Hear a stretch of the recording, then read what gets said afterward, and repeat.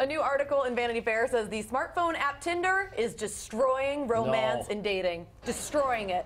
In the article, the writer hits a sports bar to talk with tables full of 20 somethings.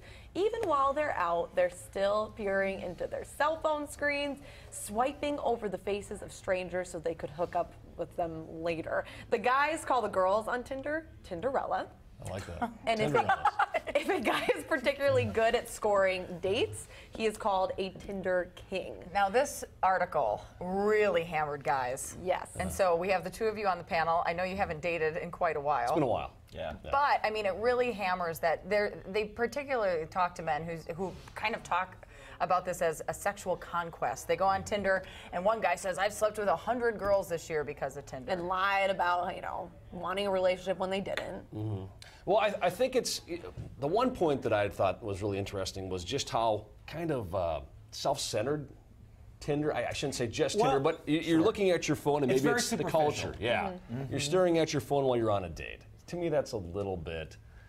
Not a little bit. That's pretty rude. You know, when you're on a date with Well, someone, 'cause what else is going on? Hey, you're, you're, on you're a date, interesting, you're but here I'm going to check on this Tinder out. looking for Yeah. another date. Yeah. Is the biggest That's the problem that I have with that. Yeah. Well, I think it's easy to slam Tinder. Uh, you know, it's it's often portrayed as slimy and people just looking for sex. I get that, but there and have, as they have pointed out, there have been a lot of success, successful relationships that have come out of Tinder We as have well. one in our newsroom. Yep. Kate Wright met her Wright, yeah. husband on, tw- on Tinder. So, I mean, there are success stories like that. Um, I think it's just easy for people to criticize it so quickly just because, I don't know, it is making things a lot more accessible for people. You don't have to work as hard. Uh-huh. And maybe that that's what people object to. When I had to find a date, it was a little tougher. Oh, And they say this is the end of dating. I don't think this is the end of dating. I think this is a new era of dating.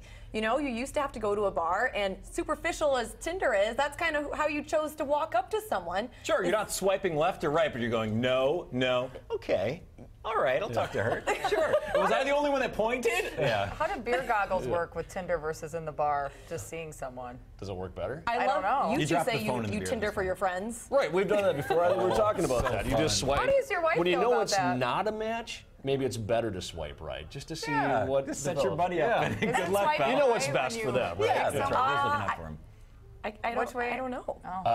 It's not this looping motion. Yeah. Not that I know that well. I'm trying right to remember. left is- It's been a long time since I've Tindered. It may be the new way of dating, but this particular writer looked and said he, she, uh, the person, I don't know if it was a he or she, was sitting in the bar and they were looking around, and everybody was on their phone instead of going up and talking Right. to one another. Maybe they're texting each other like just feet away. You know. Yeah. Sad.